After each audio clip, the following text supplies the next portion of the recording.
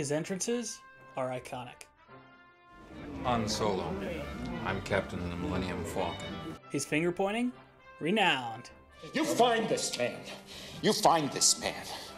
He's an actor of great comedic timing and great chemistry with his co stars. I came here to save you. Oh, yeah? And who's gonna come to save you, Junior? I told you.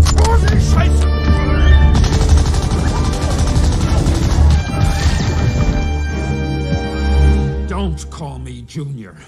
Harrison Ford, a true icon of the silver screen and one of the highest grossing actors of all time, a role model to countless fans among our generation, and portrayer of some of the most unforgettable characters in all of cinema. Earlier this year, Ford finished production on the highly anticipated fifth Indiana Jones movie, and while fans are aching to learn the story of that film, what of that of the man himself? Just what is the story of Harrison Ford?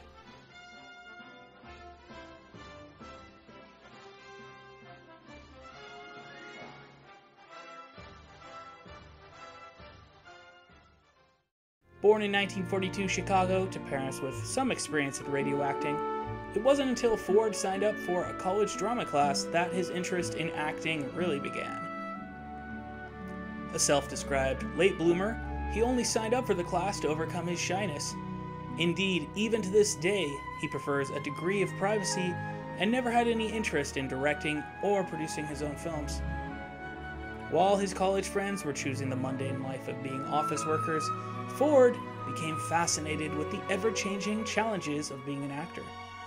He soon earned his first paid acting work with the Belfries Players in Wisconsin, but quickly grew hungry for roles of higher sustenance. I wanted to do ambitious kinds of films. I wanted to uh, take on characters that were a bit more complicated and, uh, and uh, interesting. In late 1964, Harrison and his wife packed up the car and flipped a coin to decide whether they would go east to New York or west to Los Angeles. I came up east and I'd been raised in Chicago and I was sick and tired of the cold, and so I said, let's make it two out of three. In the years preceding his mainstream success, Ford paid the rent by taking odd jobs and the occasional bit part. In fact, when a stunned Michelle Phillips of the Mamas and the Papas first glimpsed Ford on screen in Star Wars, she shouted out, That's my pot dealer! And it was his work as a carpenter that ultimately set Harrison off on his path toward stardom. Ford had stumbled upon the trade when remodeling his own home in 1970, utilizing his local library to become a self taught carpenter. He took care in his work, which became a form of meditation for him, and soon word spread throughout Hollywood of the Carpenter of the Stars. Sergio Mendes, James Caan, and Richard Dreyfuss were just a few of his high profile clients. One day, while doing work at Francis Ford Coppola's office, Ford was spotted by George Lucas, who had previously directed him in American Graffiti. Lucas was busy casting for Star Wars and decided to invite Ford to audition. Well, I'm not going to take you on an impossible chase across the galaxy. I was paid to bring you here. Now you're here. Give me my other 5,000 and I'll be on my way. You're on your own. I'm on my own. As it turned out, Ford had outstanding chemistry with Mark Hamill and Carrie Fisher, and sci fi's most iconic trifecta was soon cemented. Look, your worshipfulness, let's get one thing straight. I take orders from just one person, me. So wonder you're still alive. Will somebody get this big walking carpet out of my way? No reward is worth this. Star Wars was the biggest film of all time. Han Solo, one of the most beloved characters of all time. And there was no turning back now. Harrison Ford was a movie star. Star Wars was probably the most important film in his career, but it wasn't the film that truly cemented Ford as one of the all time legends of Hollywood. That film was right around the corner, and once again, it had George Lucas's name all over it. Lucas and Steven Spielberg had already picked Tom Selleck to play the snake fearing, Nazi fighting archaeologist of Raiders of the Lost Ark, but as fate and Selleck's prior obligations would have it, the role of Indiana Jones was to belong to Harrison Ford. Like Star Wars before it, Raiders of the Lost Ark was a smash hit, which remains to this day arguably the greatest action movie of all time. Raiders breathed a breath of fresh air to a genre that had long been dormant, spawning a whole slew of imitators. Everybody wanted to be Indy, and everybody wanted Harrison Ford in their films. The actor continued to star in hit after hit throughout the 1980s, including the cult classic Blade Runner, an Academy Award nominated performance in Witness, plus sequels to Star Wars and Raiders of the Lost Ark. The first Jones sequel, Temple of Doom, would test Ford's commitment as an action star as he suffered a severe spinal disc hernia. George Lucas later testified to his commitment. Harrison was in really terrible pain. He would be on the on the set on a bed, and then they would sort of lift him up and get him, and he'd sort of walk through his things, and they get him back on the bed. And I said, "This, we can't do this." Ford was ultimately forced to step away for five weeks to recover. Filming would continue in this time, with stuntman Vic Armstrong standing in for Ford until the actor was able to return. But Ford also had to suffer the humiliation of being whipped by Barbra Streisand in this hilarious practical joke from the set. Ford also demonstrated his range as an actor in dramatic work such as Mosquito Coast. He was so impressed by co star River Phoenix, who played his character's son, that he recommended Phoenix for the role of young Indy in Indiana Jones and the Last Crusade. After the actor's premature death in 1993, Ford told the New York Times, I came to love him like a son and was proud to watch him grow into a man of such talent and integrity and compassion.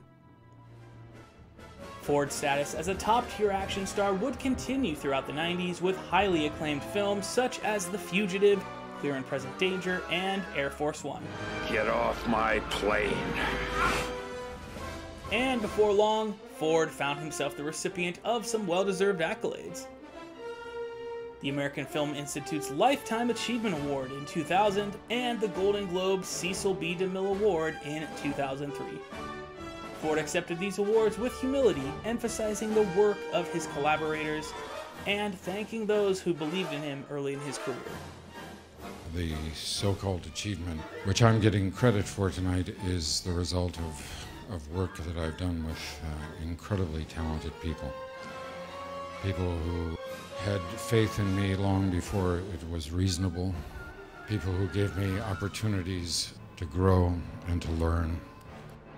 He also gave back to the world through volunteerism and humanitarianism in fields such as aviation, archaeology, and most of all, environmental conservation. Even addressing the United Nations on the issue.